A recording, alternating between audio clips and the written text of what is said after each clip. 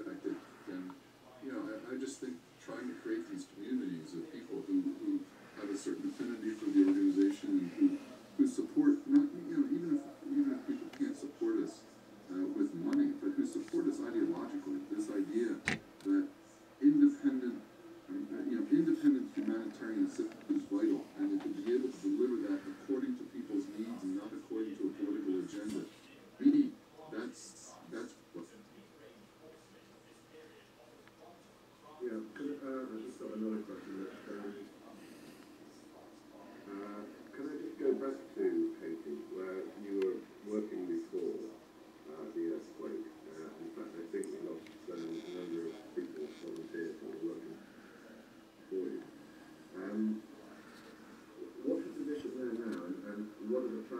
for um, Haiti? Um, will you be there for a while, or do you think that you've now done uh, as much as you can?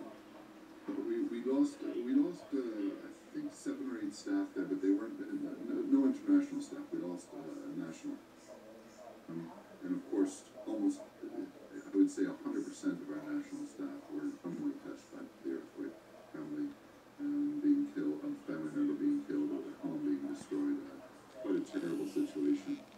Um, it, it's it's a bit of a, a, a, you know, we don't have a crystal ball, and it's very, very difficult. To, you, you know, everyone out there would be aware that there was a, a fairly massive response in terms of pledges and donations uh, for Haiti, uh, you know, across the world.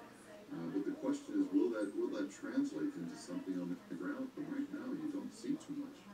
Um, so the initial crisis has passed, but uh, you know, there are still over a million people living under tents living under plastic sheeting, uh, which, by the way, those plastic tarpaulins, uh, you know, I can't even imagine being in a, under a tarpaulin like that in the middle of, a, a, of hurricane season. Uh, they, they are a short-term at best, and what, what we're hearing is that they will still be over, at the end of 2011, they would still expect to have close to a million people under those tents. So, I watched, I watched one of your videos, um, one of the MSF uh, videos yesterday, um, and it seems that um, one of the reasons why there are still so many people not uh, living in, in tents is because there's actually a um, fear uh, that they have of returning to their homes because they think it's going to happen again.